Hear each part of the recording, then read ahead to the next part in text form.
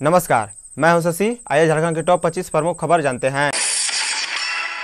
Jharkhand CM ने स्कूली शिक्षा एवं साक्षरता विभाग के दो प्रस्ताव को दी स्वीकृति झारखंड के मुख्यमंत्री हेमंत सोरेन ने गैर सरकारी सहायता प्राप्त प्रारंभिक विद्यालयों में सरकार द्वारा स्वीकृत पदों के विरुद्ध वैध रूप से नियुक्त एवं कार्यरत शिक्षक तथा शिक्षकेतर कर्मचारियों के वेतन को लेकर कुल दो अरब चौबीस करोड़ अड़तालीस लाख छप्पन हज़ार रुपये सहायता अनुदान के स्कूली शिक्षा एवं साक्षरता विभाग के प्रस्ताव को मंजूरी दे दी है।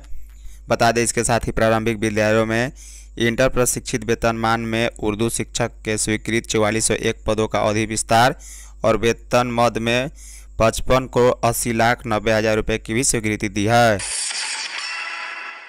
हाफिजुल हसन को स्पीकर रविंद्रनाथ महतो ने दिलाई शपथ। मधुपुर विधानसभा से विजयी हुए झामुमो के हाफिजुल हसन को झारखंड विधानसभा के अध्यक्ष रविंद्रनाथ महतो ने विधानसभा की सदस्यता की शपथ दिलाई। हाफिजुल हसन उपचुनाव में मधुपुर विधानसभा क्षेत्र से चुनाव जीते हैं, बता दें उन्होंने भाजपा के गंगा नारायण को हराया है। हाफिजुल पूर्व मंत्री हाजी हुसैन अंसारी के पुत्र हैं। झारखंड में शादी के लिए आदेश लेना ज़रूरी। झारखंड में शादी तिलक या छेका जैसे कार्यक्रम करनी हो तो इसके लिए प्रशासन के पास घोषणा पत्र देना होगा। बता दें, सौ घोषणा पत्र के ज़रिए यह बताना होगा कि वह अपने कार्यक्रम में कोविड 19 संक्रमण से बचाव के लिए सरकार द्वारा जारी सभी निर्देशों का अनुपालन करेंगे। इसके साथ ही सरकार के दिशा निर्देश के अनुसार 50 से ज़्यादा लोगों को शामिल नहीं होने देंगे। बता दें, इससे संबंधित एक फॉर्म प्रशासन की ओर से जारी कर दिया गया है। सभी थानों और प्रखंड विकास पदाधिकारी के पास संबंधित फॉर्म उपलब्ध करा दिया गया है। इस फॉर्म को भरकर थाना और प्रखंड विकास पदाधिकारी के पास जमा करना होगा। ऐसा नहीं करने वालों के खिलाफ प्रशासन कार्रवाई करेगी। झारखंड में 18 प्लस के लिए कोरोना वैक्सीन पर सीएम करेंगे बड़ा ऐलान। झारखंड में 18 से 44 वर्ष के नागरिकों का टीकाकरण एक दो दिनों में शुरू होगा। बता दें, राज्य में इस आयु वर्ग के लोगों को वैक्सीन देने की कवायद तेज हो गई है। झारखंड को सीरम इंस्टीट्यूट से कोविशील्ड की एक लाख डोज शनिवार को आवंटित हो गई। इससे पहले भारत बायोटेक से एक लाख चौंतीस हज़ार कोवैक्सीन की डोज झारखंड को मिल चुकी है। इससे 18 से 44 वर्षों के लोगों के लिए दो लाख चौंतीस हज़ार डोज वैक्सीन उपलब्ध हो गई है। सांसदों, विधायकों से 10-11 मई को सीधी बात करेंगे मुख्यमंत्री हेमंत। सोमवार 10 मई और इसके अगले दिन मंगलवार को झारखंड के मुख्यमंत्री हेमंत सोरेन राज्य के सभी सांसदों और विधायकों के साथ वीडियो कॉन्फ्रेंसिंग के माध्यम से बैठक करेंगे और उनके विचार जानेंगे। बता दें, मुख्यमंत्री सचिवालय से जारी सूचना के अनुसार 10 मई को दिन साढ़े ग्यारह बजे से संथाल परगना और पलामू प्रमंडल के सांसदों एवं विधायकों से कोविड महामारी को लेकर बैठक करेंगे। इसके अगले दिन मंगलवार को उत्तरी छोटा नागपुर, दक्षिणी छोटा नागपुर एवं कोल्हान प्रमंडल के सांसदों एवं विधायकों के साथ वीडियो कॉन्फ्रेंसिंग के माध्यम से महामारी की स्थिति के संबंध में बैठक करेंगे और सभी के विचार जानेंगे। केंद्र ने स्वीकृत किए 500 ऑक्सीजन प्लांट, झारखंड के हिस्से एक भी नहीं। केंद्र सरकार ने देश भर के लगभग 500 अस्पतालों में पीएसए ऑक्सीजन प्लांट लगाने की स्वीकृति दी है, लेकिन इसमें एक भी प्लांट झारखंड के लिए नहीं है। इसकी जानकारी मिलने पर राज्य सरकार ने आवंटन पर पुनर्विचार करते हुए झारखंड के लिए भी पीएसए ऑक्सीजन प्लांट की स्वीकृति देने का अनुरोध केंद्र से किया है। शिक्षकों, कर्मियों के वेतन के लिए 280 करोड़। छुट्टी के दिन भी खुला रहेगा स्वास्थ्य विभाग। झारखंड सरकार ने शिक्षकों व कर्मियों के वेतन के लिए 280 करोड़ की मंजूरी दे दी है। इसके साथ ही मुख्यमंत्री हेमंत सोरेन के आदेश के मुताबिक अब अवकाश में भी स्वास्थ्य विभाग के सभी कार्यालय खुले रहेंगे।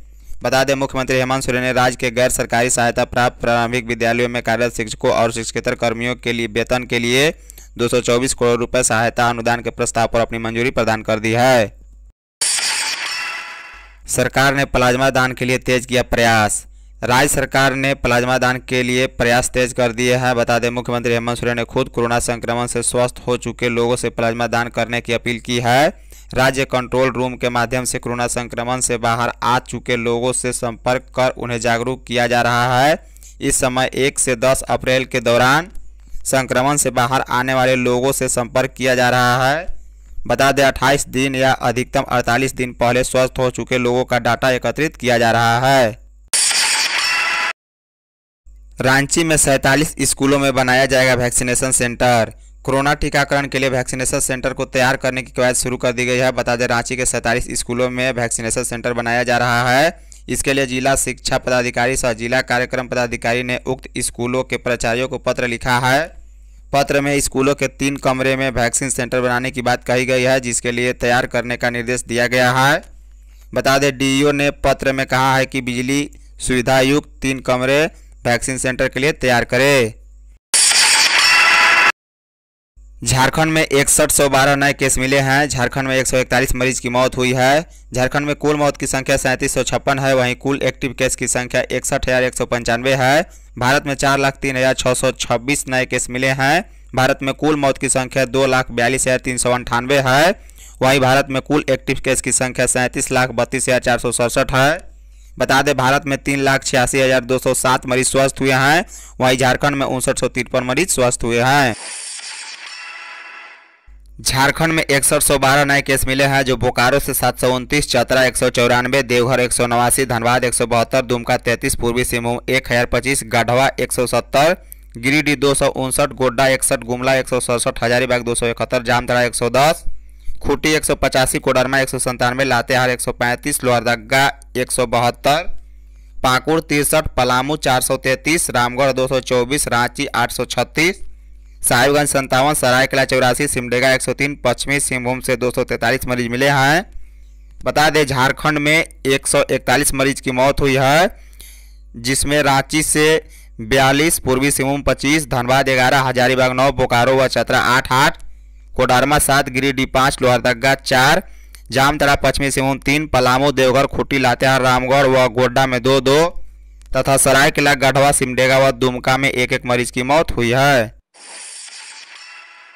झारखंड में उनसठ सौ तिरपन मरीज़ स्वस्थ हुए हैं, जो बोकारो से चार सौ संतावन चातरा बयालीस, देवघर एक सौ दस, धनबाद एक सौ सतासी, दुमका एक सौ पच्चीस, पूर्वी सिंहभूम नौ सौ ग्यारह, गढ़वा अट्ठाईस, गिरिडीह एक सौ अड़सठ, गोड्डा छिहत्तर, गुमला दो सौ चौरानवे, हजारीबाग पाँच सौ बत्तीस जामतारा सड़सठ खुट्टी एक सौ अड़तालीस, कोडरमा दो सौ एक लातेहार पच्चीस, लोहरदगा चार सौ अठहत्तर, पाकुड़ पच्चीस, पलामू तीन सौ चौबीस, रामगढ़ एक सौ सतासी, रांची एक हज़ार तैंतीस साहिबगंज संतावन सरायकला एक सौ सोलह, सिमडेगा एक सौ ग्यारह, पश्चिमी सिंहभूम से दो सौ इक्यावन मरीज़ स्वस्थ हुए हैं।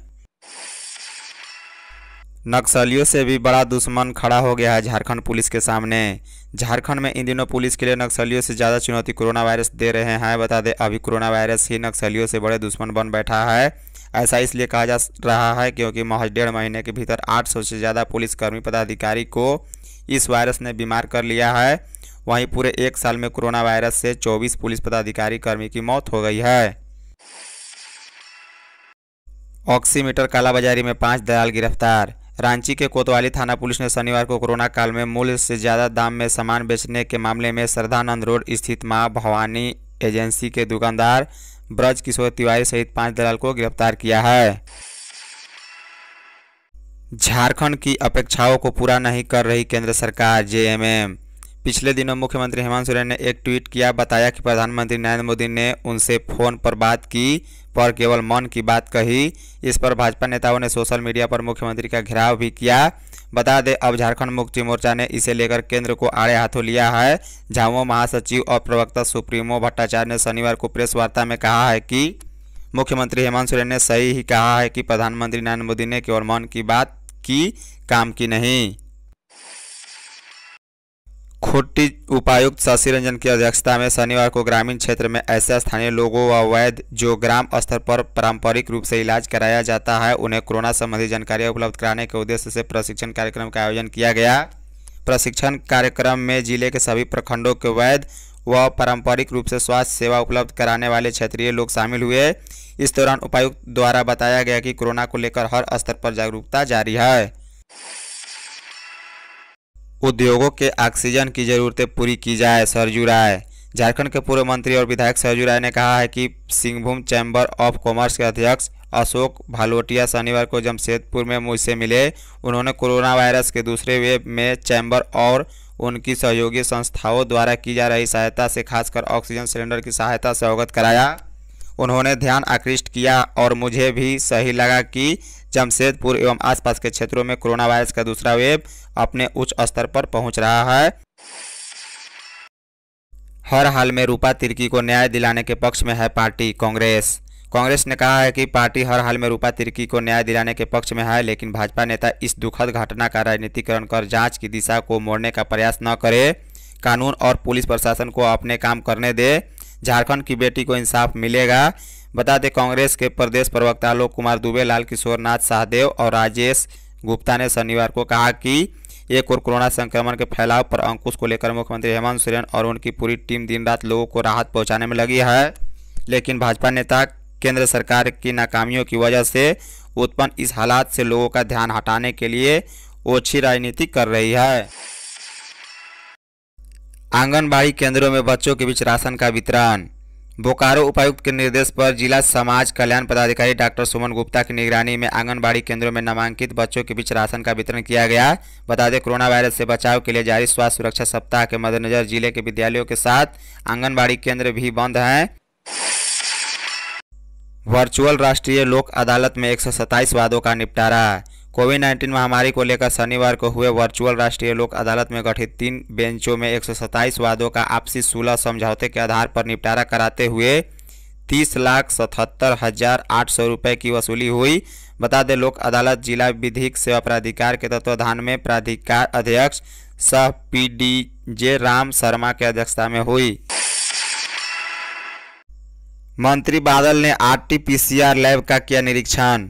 कृषि पशुपालन एवं सहकारिता मंत्री बादल पत्रलेख ने शनिवार को बाघमारा स्थित प्राथमिक स्वास्थ्य उपकेंद्र में आरटीपीसीआर लैब को लेकर चल रहे विभिन्न कार्यों का जायजा लिया। मंत्री ने चल रहे कार्यों को जल्द से जल्द पूर्ण करने के अलावा संबंधित अधिकारियों व स्वास्थ्य विभाग की टीम को निर्देश देते हुए कहा कि जिलावासियों की सुविधा को आगामी 14 मई से आरटीपीसीआर लैब आरंभ करना सुनिश्चित करे। कोरोना से जुड़ी पीआईएल पर सुनवाई के लिए झारखंड सरकार के आग्रह को झारखंड हाईकोर्ट ने स्वीकार करते हुए शनिवार को सुनवाई की। चीफ जस्टिस रवि रंजन और जस्टिस सुजीत नारायण प्रसाद की बेंच ने शनिवार को सुनवाई के दौरान राज्य सरकार और राज्य के सभी जिला न्यायालयों को निर्देश दिया है कि जितने भी जब्त ऑक्सीजन सिलेंडर हैं, उन्हें तत्काल आकस्मिक सेवा में इस्तेमाल किया जाए। महिला थाना प्रभारी रूपा तिर्की आत्महत्या कांड। साहिबगंज महिला थाना प्रभारी रूपा तिर्की आत्महत्या मामले में बड़ा खुलासा हुआ है। बता दें, कॉल डिटेल से यह बात सामने आई है कि रूपा ने आत्महत्या करने से पहले अंतिम कॉल सब इंस्पेक्टर एस के कनौजिया को फ़ोन किया था। बता दें, रूपा और कनौजिया बैचमेंट थे। दोनों के बीच दोस्ती थी। मोबाइल पर दोनों के बीच अक्सर बात होती थी। अब तक पुलिस जाँच में यह तो पता नहीं चला है कि अंतिम कॉल में दोनों के बीच क्या बात हुई। मोबाइल पर बुक करा सकेंगे बेड और पचासी पंचानवे बावन चौवालीस सैंतालीस नंबर पर डॉक्टर की सलाह। झारखंड में अब कोरोना मरीज़ को मोबाइल पर बेड की उपलब्धता और व्हाट्सएप नंबर पर डॉक्टरों की सलाह मिल सकेगी। बता दें, मुख्यमंत्री हेमंत सोरेन ने राज्य में कोविड 19 के लगातार बढ़ रहे संक्रमण के बीच मरीजों के बेहतर इलाज और डॉक्टरी परामर्श के लिए Amrit Vahini website, mobile app और चैटबोट का उद्घाटन किया है। इस सुविधा के बारे में सीएम ने कहा कि कोरोना की रोकथाम को लेकर सरकार लगातार प्रयास कर रही है। इसके लिए यह वेब पोर्टल, मोबाइल ऐप और चैटबोट शुरू किया गया है। बता दें, व्हाट्सएप चैटबोर्ड नंबर पचासी पंचानवे बावन चौवालीस सैंतालीस पर डॉक्टरों की ऑनलाइन सलाह भी ले सकते हैं। धन्यवाद।